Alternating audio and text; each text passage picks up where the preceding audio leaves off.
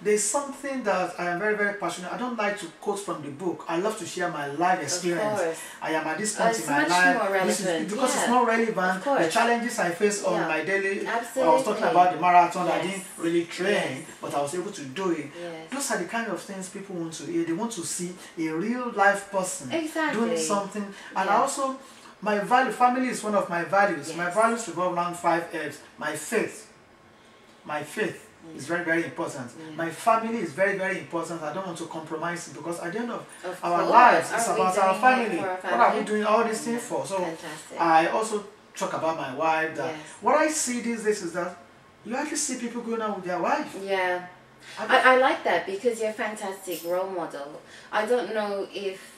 Just in your community, maybe, you know, nationwide, worldwide, and especially as you expand, you're sending a good message for our younger generation as well. Exactly. I see so Yeah. many people. You'll be surprised that sometimes when people come to me that how am I able to do it to be going to those kind of events with my Mhm. wife? It is discos, Yeah. if it is parties, Yeah. if it is uh, Valentine Yeah. dinner, they Mhm. see me with my wife. I say, I'm married to a goddess. That's right. I am married. It is for better for worse. Exactly. If I'm married to nobody forced me to marry my That's wife. right. So if I'm married to somebody and I can't take her out, Yeah. that's too bad. It's a I was disgrace. not for it's a disgrace. It's a disgrace. I'm Yeah. proud of her. If I'm not Yeah. proud of her, why did I marry her in the first place? your family. Your That's my family. That's uh, that, that, that is my essence. So Mhm. it's not as if it's like uh, photo So trick. now, do you, yeah, for the No, show it's or not, no, something? it's not, it's not a photo shoot. Do you um do you actually talk to people about that in part of your motivation about keeping the family together? Yes, I, what I do because most of the things I talk about is success, Yeah. about family values. But Yeah. I always talk during my seminars that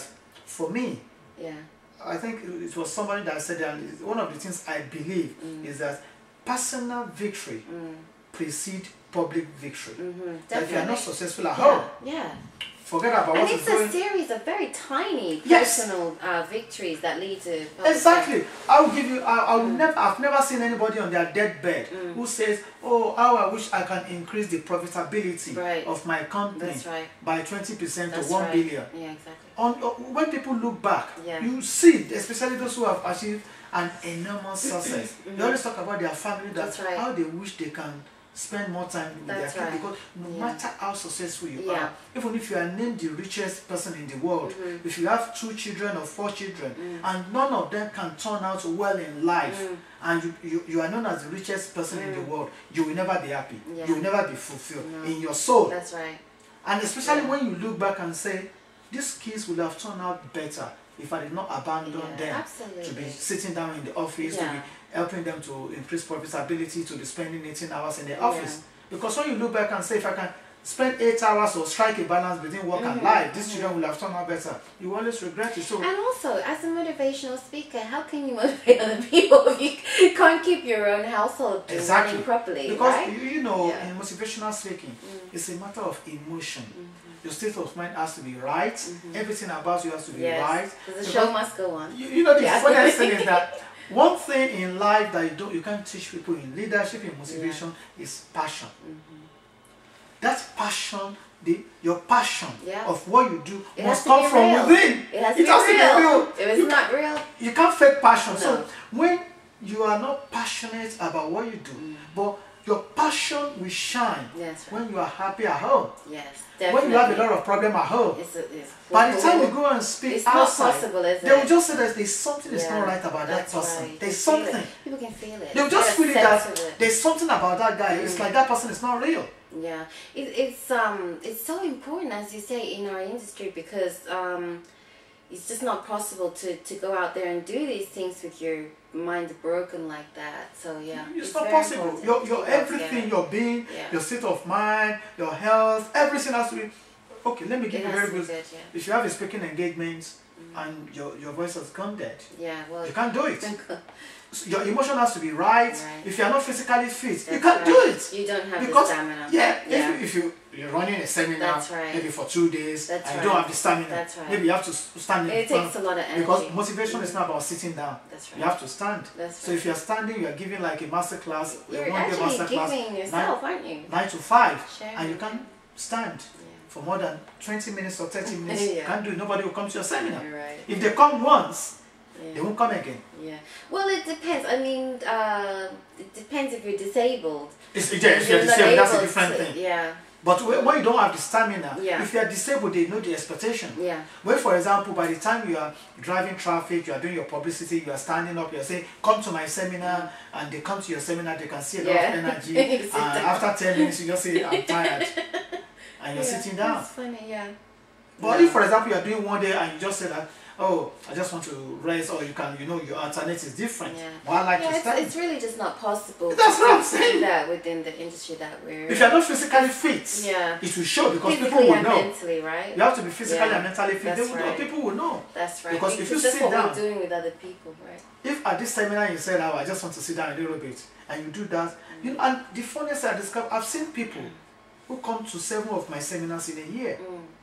So you know, some people have been going to Anthony Robbins for Oh, years. yeah, they like it. They So, like to go if, for to everyone, example, yeah.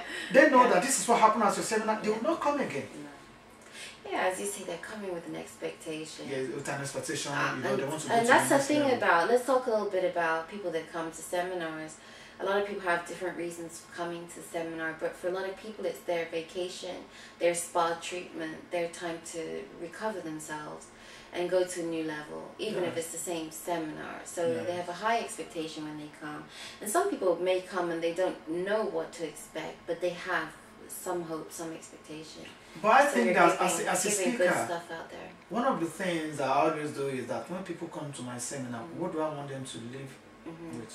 It is Yeah. very, very important. They must get Yeah. value for money. something better than There they must be at least it can be tips. Yeah. For example, uh, it can be belief. Mm, No matter anybody that comes to my seminar, I want them to have belief in themselves. yeah. I also want them to take action. Mm-hmm, I want them to stop procrastinating. That's fantastic. I want them to know that it's going to be very, very challenging, but they must never give up. Yeah. And I use myself as a metaphor Yeah. that this thing can be done. Yeah.